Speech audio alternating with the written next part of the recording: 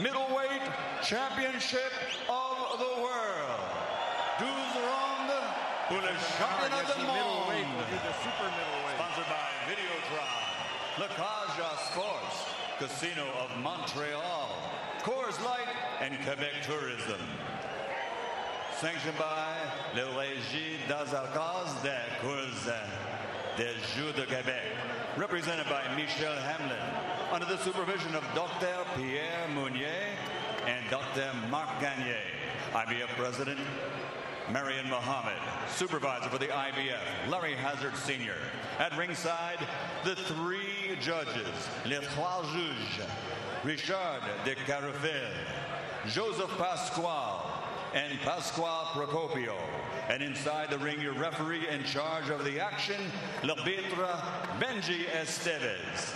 And now, ladies and gentlemen, and maintenant, de Ville magnifique du Québec, mesdames et messieurs,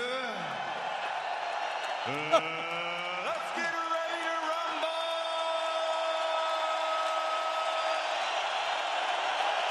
Ça aussi, on l'attendait.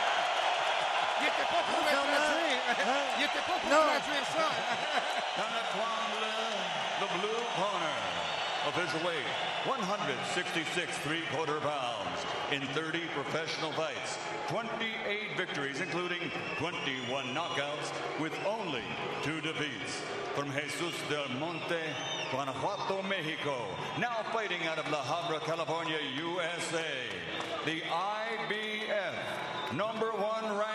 super middleweight contender in the world, the challenger, Librado Andrade.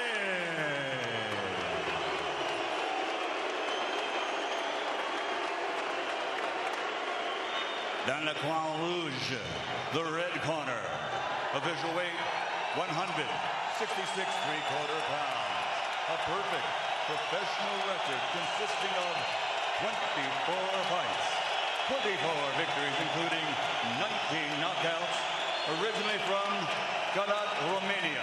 Now, living and fighting out of Montreal, Quebec, Canada. The reigning, defending, undefeated IBF Super Middleweight Champion du Monde,